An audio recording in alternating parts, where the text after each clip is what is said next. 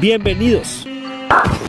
Gracias por escogernos por encima de otras escuelas. Sabemos que miraron muchas escuelas o tal vez nos vieron de primeras y nos escogieron. Les agradecemos muchísimo. Bueno, les voy a explicar cómo es el programa de adiestramiento que nosotros manejamos.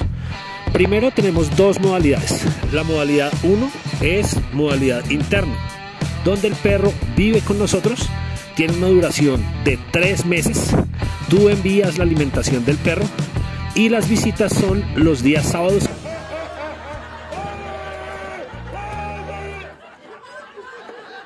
siempre con cita previa. No puedes llegar un día entre semana de improviso porque siempre las visitas serán los sábados y debes agendarla. Entonces, ese día te esperamos para que visites tu perro.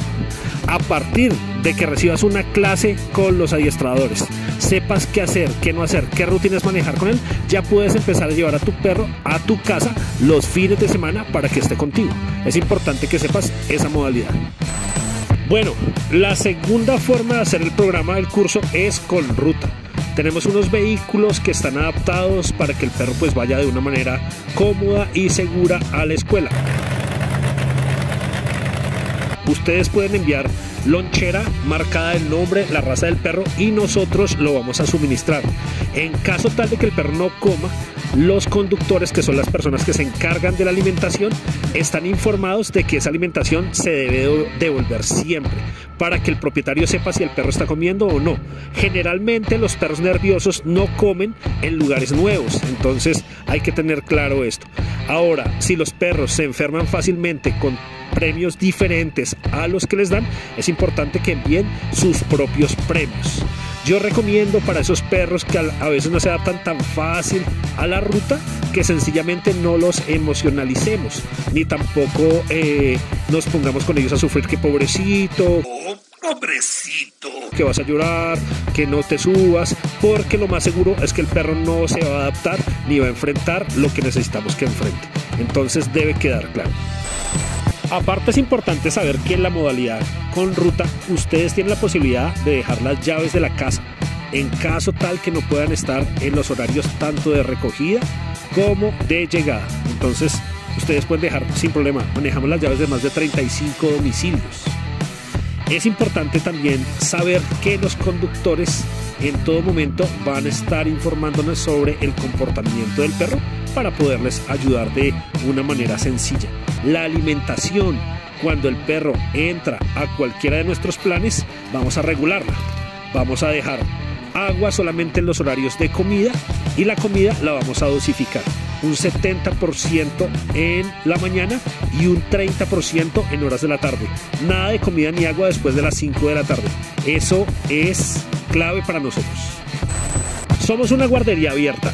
Aquí les voy a dejar el link sobre qué es una guardería abierta, los pros y los contras. Además de eso, tenemos que tener en cuenta de manejar bien los espacios emocionales.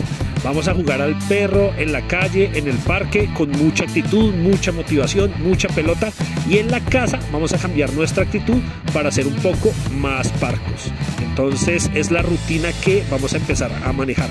Lo más seguro es que algunos perritos en la escuela se van a adelgazar porque obviamente no es igual tener un perrito en una terraza, un apartamento encerrado en una casa, que tenerlo todo en el día en actividad física y adiestramiento. ¿Qué hacemos en caso tal de que un perro interno se adelgace o un perro de ruta? Lo que vamos a hacer es sugerir un suplemento alimenticio. Si el perro está comiendo concentrado, dieta sólida, vamos a recomendar dieta bar o menudencias. Si el perro está comiendo dieta bar o menudencias, vamos a recomendar concentrado. Pero vamos a hacer algo para que el perro no se baje tanto de peso. Bueno, es importante también tener en cuenta que los perros la primera semana no van a recibir clases, nada de clases. Es un tiempo de adaptación y de socialización donde queremos que conozcan los espacios, los otros perros, las personas que les transportan, el tipo de vehículo en que van a ser transportados. Es importante ese periodo para ellos. Ahora, ustedes van a recibir clase de capacitación una vez al mes ¿Cuál es tu único propósito en el ejército? Hacer todo lo que usted me ordene, mi sargento. Esa clase son los días sábados, generalmente de 9 a 11 de la mañana. Ese día deben ir con ropa cómoda, nada de chales, cosas que los enreden mucho y además de eso pueden hacer todas las preguntas que quieran con respecto al adiestramiento de sus perros y cómo va el proceso.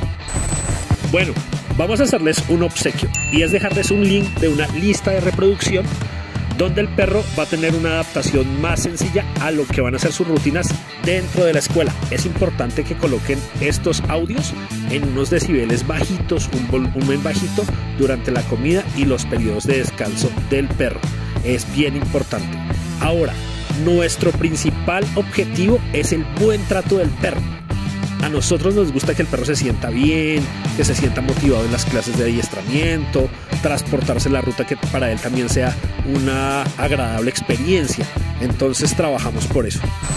Somos más de cuatro adiestradores en la escuela que vamos a darle clase al perro todos los días después de su primera semana de adaptación. Una clase con una duración de unos 20, 30 o 40 minutos según lo que estemos trabajando por cada perro. Segundo también, el condicionamiento físico para nosotros es bien importante. Lo hacemos por medio de trotadoras, obstáculos, algunos túneles.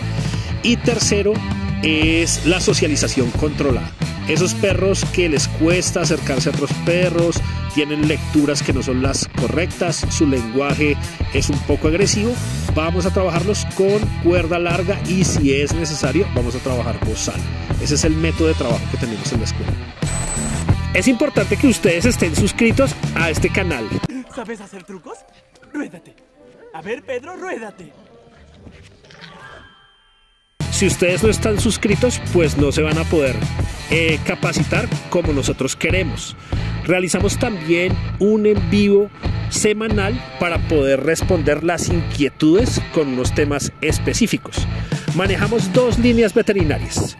Una línea veterinaria es la doctora Mónica Serna, aquí en la localidad de Suba. Es una muy buena veterinaria que nos atiende algunas urgencias. Allá tiene pues varios elementos y ella es muy buena veterinaria. Y tenemos un veterinario que va directamente a la escuela y está algunos días de la semana en la escuela. ¿Qué es lo peor que podría pasar? Dios no quiera con un perrito, una herida por una mordida de una oreja, por una patica, algo que pase. Si llega a pasar algo de esto, nosotros nos vamos a encargar de la primera urgencia y de eh, poder solventar esos gastos veterinarios.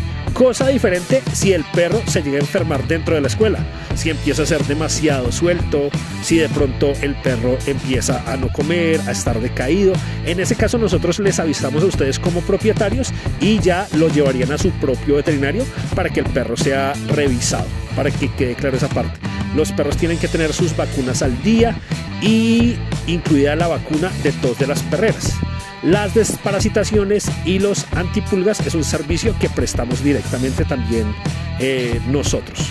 Tenemos que tener presente también que un perro si se adelgaza no es señal de enfermedad. Igual un perro que empieza a ser pastoso o algo suelto no siempre es señal de enfermedad. A veces los perros tienen eh, algunos cambios de lugar de, pas de lugar de pasar una casa a un lugar campestre o de pasar una, a un lugar campestre a una casa donde eso se puede presentar y repito, no es señal de enfermedad.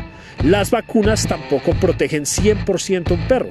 Hay un porcentaje de probabilidades que el perro se pueda llegar a enfermar aún de lo que está vacunado. Entonces son muchos factores, son el tipo de vacuna, las defensas del perro, la alimentación, la genética, el cuidado para poderlo tener presente. Algunas cosas que nos diferencian de los demás es que estamos ubicados dentro de la ciudad de Bogotá. Eso hace que las rutas pues no sean demasiado largas. Ahora, la sede nuestra está rodeada de una muralla estructural de 4 metros y medio de alto y vigilado por un circuito cerrado de cámaras de televisión. El mono es el ojo en el cielo.